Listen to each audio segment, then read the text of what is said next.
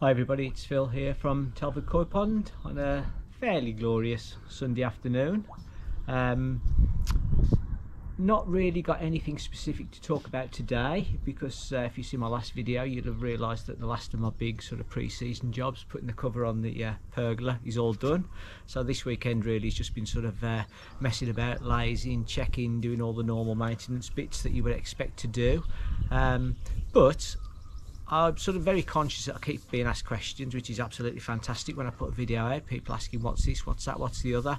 And obviously I keep answering them.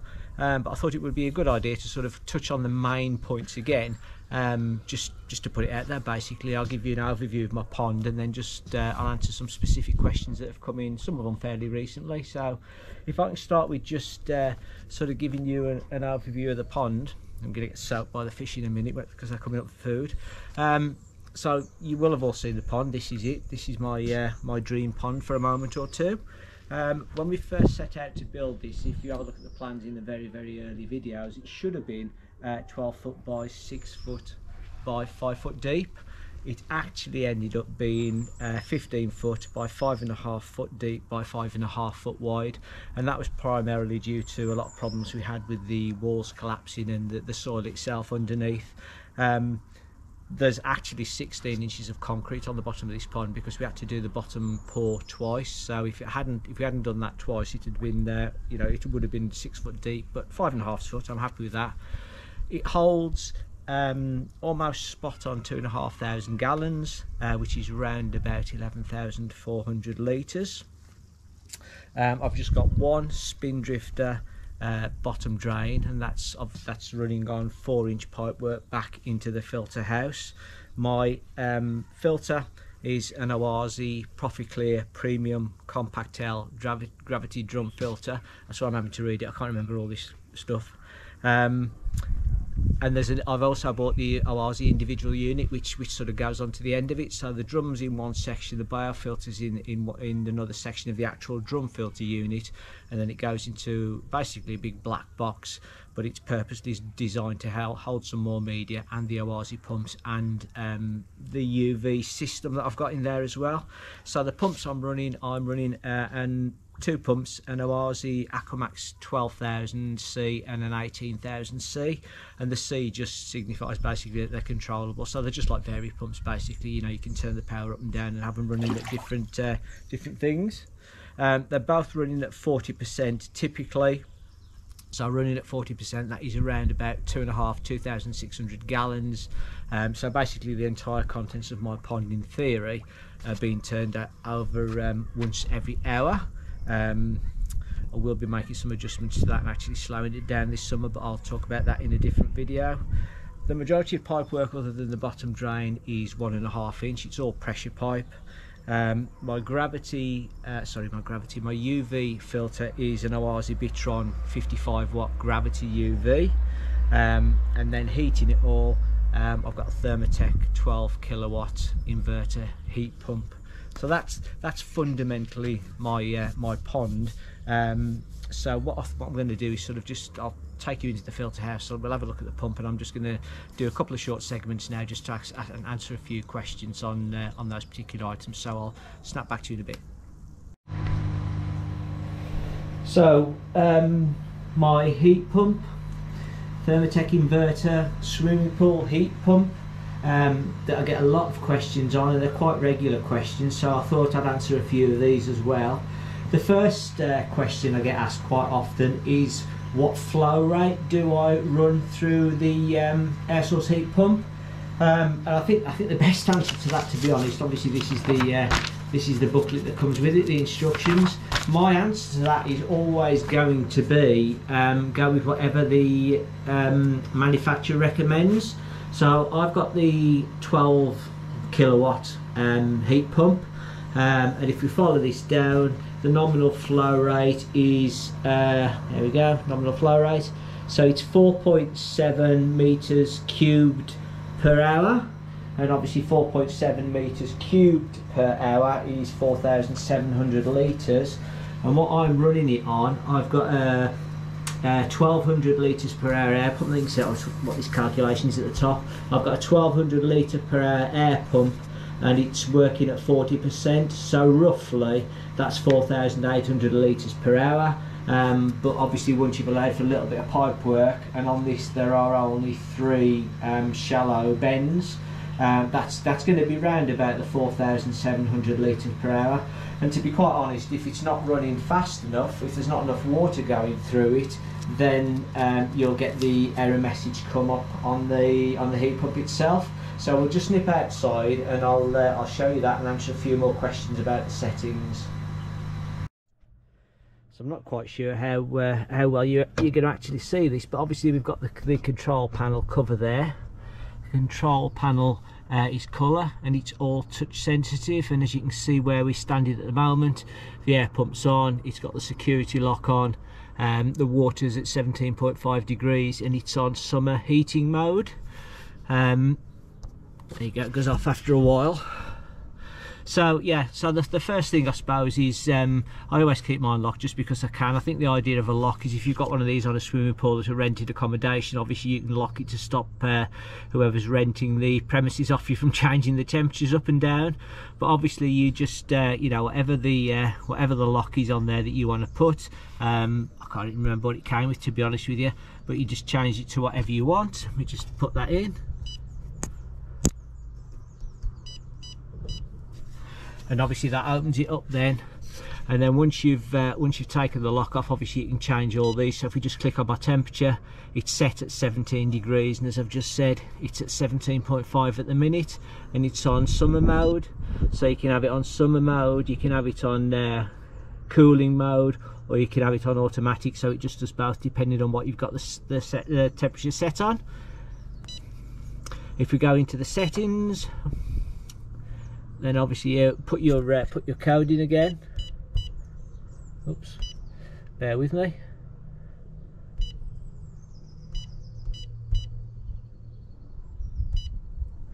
And you've got a whole raft of uh, you've got a whole raft of settings and things you can do here. But having said that you haven't got anywhere near as many um, codes as uh, as you've got if you're an actual Thermotec engineer and those are the codes that a lot of people are asking me you know what do you run what don't you run that sort of thing. So if I just go right back to the beginning uh, again if I want to go into the engineer mode um, I, I, to be honest I'm not sure whether you're supposed to know these codes or not but um, somebody gave it to me so you know I'm not telling you to use this but it's there if you want to use it. Um, and the, the engineer code I believe is 66 so we put that in and enter and then straight away you've got uh, you've got lots more codes to play with basically. There's loads and loads and loads. They're all in alphabetical order as you can see. And the first one that I was advised to change just keep going and going and going and going and going until you get to the uh, the R's. Uh, and it was R2 so R2 is the uh, is the heating setting which obviously you can do from the main pump as well. So sorry that was a bit of a, a red herring. It's not R2 um, it's R4 so R4 is the temperature difference between what you set uh, and what the temperature actually is before the, the heat pump kicks on and off. Um, I think it's one degree as, as, as a default and I've been advised to set it anything from 0.5 to 0.3 there we go. And all that means is I've got it set on 0.5 so with a temperature of 17 degrees. If, if it goes down to 16.5 that's when the heater comes on. It'll go up to 17.5 and then the heater clicks off. Um, and that's it. And then R where are we then? Uh, I think R12 is the next one. And that's the power on difference. And the same sort of thing really. It's set at uh, set at half a degree. And the other one that's uh, that's interested I think when it comes out of the factory the minimum heat which is R10 I think it's set at 15 degrees or 16 degrees something like that. Uh, and obviously for a winter type setting uh, you want you know if you want to give your your koi a proper proper um, wintering then obviously you want it to get colder than that. So you could just use you know you just click on it here and go up and down put your put your put your number in and then click, click enter um, and you can put in what you want. Well say put in what you want. I think 10 degrees is the minimum. So it's at 10 degrees at the moment. And that's that's it really. I mean that answers most of the questions that uh, I say people have asked me. Um, it's a great unit uh, as I say I like the colour controls. You can have a silent fan if you, if you happen to be sighted next to somebody's house or something like that. Um, you know great bit of kit really really uh, lots of uh, you know you can really make it your own. That's what I'm trying to say get my words out. So that that's the kit. Let me just uh, put that back on shut the door. Oh. And I'll just quickly show you the, the pipe work at the back because people again have been asking me about the bypass and things like that. And it's uh, oops it's ever so simple. I don't know how much you actually see on here. Um, trying to not send you all uh, goggle-eyed. But basically the uh, the water comes up through this top one here through the heat pump. It goes out through the the bottom one and it just returns as you can probably see I've got a load of crap down here but it just goes into the side of the pond there a mid-water return. This is all the winter uh, lagging obviously but the bypass valves basically you won't see it very well. But there's a there's a ball valve there there's a ball valve there and there's a ball valve there. So if I want to bypass the heater I turn that one off turn that one off turn that one on and then the water just comes straight round there without uh, without going through the heater. But that's it you know great bit of kit this is a Thermotec 12 kilowatt um, massively over engineered for my pond. I think for, for I was advised that uh, the 9 kilowatt would quite easily do uh, my two and a half thousand gallon pond. Um, but obviously the bigger you go the less effort it is I suppose to to heat up and cool down. Um, so I had the opportunity to get one of these and this is the one I've gone for but I've been pleased with it. You know there's loads more on the market Remora Dream I can't think of some of the others um, you know there's good reports about everything. You've just got to um, choose the best one that uh, you think for your pond. So I hope that was helpful. Um, move on to the next question. I'll be back with you in a sec. Thanks for that. Fish are hungry as always as you can see I had a question recently about the pond covers. Um, you can see how I've made them in previous episodes. I was trying to just go with bubble wrap on a frame to start with, um, but a good friend of mine, Aid from Warsaw, uh, he's got a YouTube channel called Aid's Koi Pond, and got me some polycarbonate sheets. So these are now sort of bubble wrap on the uh, on the top, as you can see on this one. Uh, but the underside is uh, got polycarbonate on the other underside, so they're really, really well insulated. Um, but somebody was asking me basically whether we uh, take the covers off and leave them off during the day and the short answer at the minute is no. If it's uh, if it's a cold day I try and give them daylight every day so I'll take one of the covers off. It's in five pieces so there's one there there's two pieces missing and then there's another two on there. They're actually stacked on top of one another. If it's a cold day just take one piece off to give them some daylight but if it's a sort of warmish day like today then I'll take uh, I'll take two covers off and they can uh, you know make most of whatever little bit of sunshine there is without wasting too much um, energy on uh, on heating the pond with the covers off. Lancelot there coming to say hello. It's beautiful. So I don't know whether you can actually see how big these fish are, but you know he's uh, he's got them more hand feeding, which is superb. Um, something that might be interesting to a number of people is uh, big shout out to uh, Gaz of Gaz's Koi Pond and to um, Gary and Kaz from um, Pond and Garden. Went on both of their uh, live talkings re recently and it was really entertaining, really good fun, so thank you for that. But one of the questions I posed on Gaz's on um, Thursday night, where I asked a question about whether you leave, you know, whether um, a spin drifter like air bubbles in the pond is actually necessary because obviously when I'm out here you know when I've got all the covers off it doesn't really spoil the enjoyment. Um, but when I've just got one of the covers off or two of the covers off as you can see you know it just sort of take away you can't see the fish that well. Um, and a shout out to Jack the balding reefer um, from Reefer Aquatics if you want to go and find those on uh, on the internet really great shop great products great prices but anyway I had a really interesting conversation about Jack about oxygen crashes and the fact that they tend to happen at sort of um, two, three, four, five o'clock in the morning. Um, so, you know, long story short, I am leaving my uh, my bubbler on, so it never uh, it's never off at the minute, um, just in case. So I have been monitoring oxygen and text, testing for oxygen levels.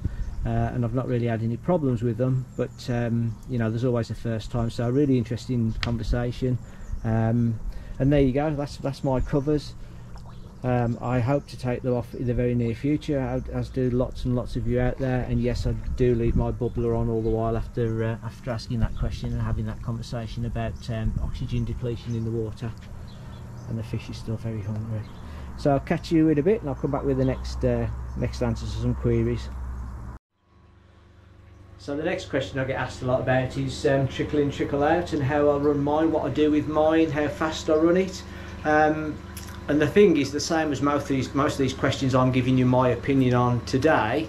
Um, just need to be clear, it is my opinion. I'm no fish expert. I've learned what I've learned through the hobby. Everybody's pond's different, everybody's fish are different, everybody's approach to fish keeping is different. So you know when, when you're listening to my videos and other videos on YouTube just just sort of bear in mind that that's that's how, what we found best what I found best for my pond and fish. So trickle in trickle out. Mine dead dead simple. So I'll spin you around so I've got uh, a hose pipe that actually runs from all around the outside of the house. You can imagine a hose pipe running all around the outside of the fence there.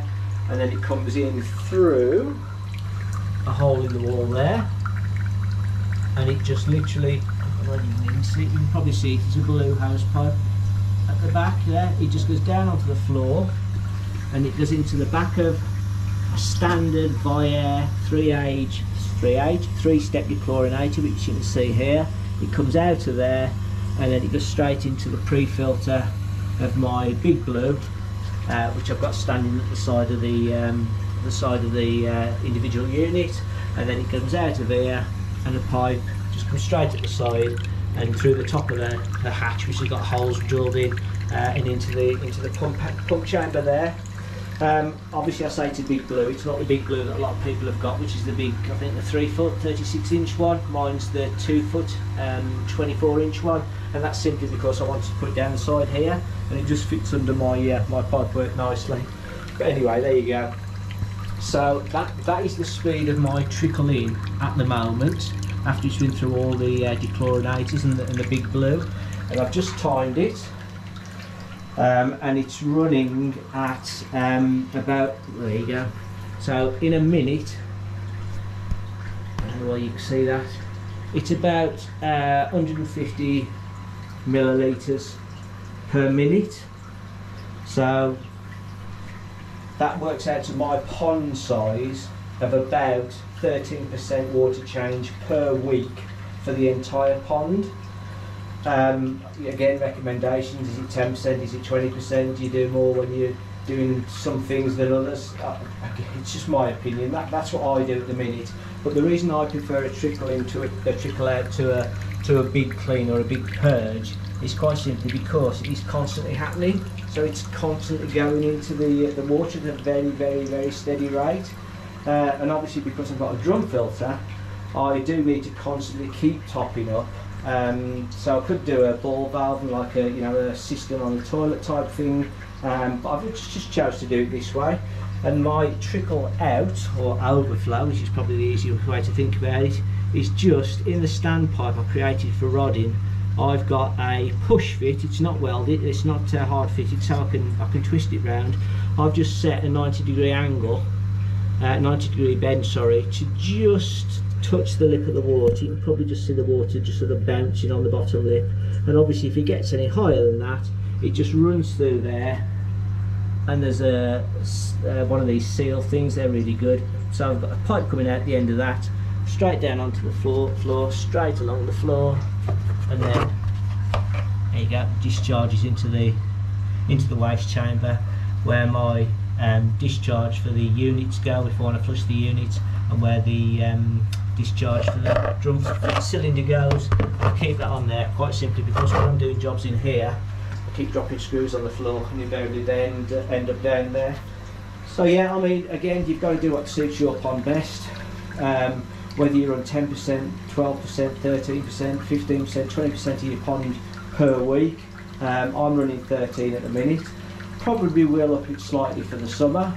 Um, but at the moment as you can see from my uh, big blue over there um, pH is 8.1 temperature is 17 degrees uh, and my TDS total dissolved solids is running at 3, 310 at the moment which I know is rubbish but you know, unless I do uh, extreme things, I'm never going to get that down because it comes out very high from the tap. The thing that I always just look at, to be honest, is, uh, you know, just looking at the water clarity uh, in the individual unit here. This is what's getting pumped back into the pond.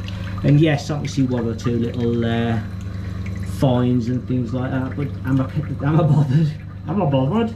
Uh, no, I'm not. You know, as long as, as, long as the water's um, clearish so I can see the fish, I'd rather the fish be happy and the water be right for them than being crystal clear for me to keep looking at. So uh, again, that's that, that's my sort of uh, explanation, my triple in, triple out. Um, so I'll move on to the next uh, sort of comments I keep getting, which is about the actual drum filter. So I'm just going to pop the top off and then I'll come back to you. So the, the question I get asked most about my um, drum filters is just how much air I'm running through the moving bed um, and whether I think you know you should be going faster or slower or whatever. And again, it's just whatever works best for your pond. Um, the manufacturer, when, when I bought this uh, filter, I think it comes with six, 60 litres of Hel-X 13 anyway. So Hel-X 13 is obviously the VOR's the um, 13 millimeter plastic media. Um, and you can and, and it recommends that you run that on a certain speed of air pump and then it says you can go up another 20 litres of Hel-X which obviously I've done uh, and to do that you need to increase your flow on the uh, speed put on the air pump sorry. Um, but the concern for me was when I went out and actually bought the air pump that was recommended this was like it was foaming. It was it was like a jacuzzi on full blast. Uh, and the thing that concerned me was how does the how does the good bacteria stay on the um, on the media when it's absolutely turning over like a torrent? So this this might be interesting for um, Simon at Up North Koi because he's sort of been having a conversation with him about um, you know the speed this should be going over at, and I've I've always been told that uh, it shouldn't it shouldn't look like the cleaning cycle on uh, on a Nexus. You know, when you're boiling the media, it shouldn't look like that. It should just be like a nice turnover, making sure everything's turning over, all the corners are moving, that sort of thing. Um, so this, you know, this is how I'm running mine. It was running a lot, lot, lot faster. Um, but it seemed to take ages and ages and ages for the white media to start getting that nice brown colour that we're all looking for. And as soon as I turned it down a bit, um, this is what I'm getting. So this at the moment is only running with um, it's uh, that Jabo 35 35 litres per hour per minute per hour. Litres per minute of course it's litres per minute Phil. So 35 litres per minute um, that's all that's running on here at the minute. And I think it was recognised uh, sorry recommended to be something like 60 litres and then if you put the 80 litres of uh, Hel-X in go up to 80 litres there's no way. I, could have, I was running with this and the bottom drain at one point, um, but sort of similar to my pumps, I thought, well, if one fails, I don't want, you know, I don't, don't want to finish, to stop doing everything, so I, um, I put two pumps on. So the Jabo 35 litres per minute is running this, and I think this is more than needed. So I keep, I keep watching the corners to make sure there's nothing stuck in the corners. Um, even, even where the pipes are there for the air coming in, you can see that. You know, if you watch longer, if you think something's getting to the corner, all of a sudden it all change over. So there's a constant flow there, you know, there's a constant flow at the other corners. It's, it's definitely turning everything over all the while, but it's obviously slow enough that it's uh, allowing the bacteria to sort of um, populate the media. So, as I say, to me, it's up to you how you run it, how it works best for you and your pond. I'm running it slower than it actually recommends in the book because I'm finding that it's um, it's, it's building up your bacteria. My water readings are a lot a lot better since I started running it a little bit, a little bit slower. So just something to consider, something to try. So hopefully that answers uh, questions for for a few people. Um, yeah, I'll snap back to you in a bit.